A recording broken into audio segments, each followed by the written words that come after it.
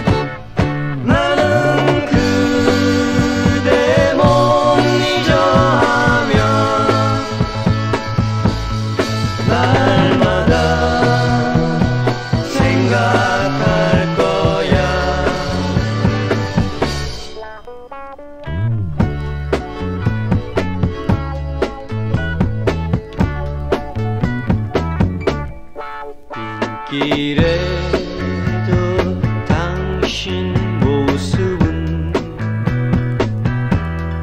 언제나 떠나지 않아도